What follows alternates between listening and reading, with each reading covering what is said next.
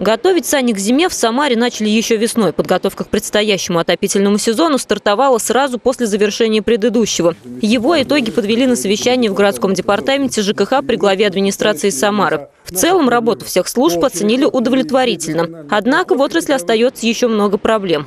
Почти две с половиной тысячи отключений тепла за сезон. Специалисты связывают это с тем, что отменились повторные гидравлические испытания осенью. 9 из 24 объектов теплоснабжения не были сданы вовремя. Свою роль сыграла и недостаточная подготовка персонала. Когда выходим э, в, случае аварийной ситуации, выходим на место, значит, э, тот же слесарь, э, значит, тот же мастер не может справиться с поставленной задачей. Решить кадровый вопрос можно, только нужно создать благоприятные условия для работы. Это и человечные отношения, и дополнительное обучение, и достойная зарплата, отметил глава администрации Олег Фурсов. Однако, как показывает практика, руководители многих управляющих компаний не готовы повышать зарплату своим сотрудникам. Дворники, к примеру, получают около пяти с половиной тысяч рублей в месяц. За такие деньги работать мало кто хочет. А потому, как считает первый вице-мэр Владимир Василенко, люди на этих ставках есть только на бумаге. Где 15 есть или 12 тысяч, там есть человек, который работает.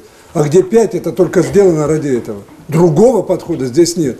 И сейчас, если кто-то будет возражать, Идем прямо сейчас туда, в любую управляющую компанию, я докажу это. К управляющим компаниям у городских властей нареканий немало. Многие из них создавались стихийно, без реальной оценки своих возможностей. Чтобы изменить ситуацию в сфере коммунального хозяйства, необходимо выработать единые для всех стандарты. мы все с вами четко должны понимать, к какому сроку мы эти стандарты выполним.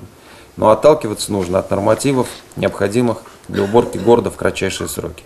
Обязательно должен быть блок, связан с обучением сотрудников управляющих компаний. По поводу подготовки списков дворников, аварийных бригад, там, резервных бригад, мы говорили о том, что эта работа должна быть завершена в сентябре. Отметили на совещании и успехи. Лучших работников сферы жилищно-коммунального хозяйства отметили благодарственными письмами и нагрудными знаками главы администрации города за хорошую работу в осенне-зимний период. Марина Матвеевна, Сергей Баскин. События.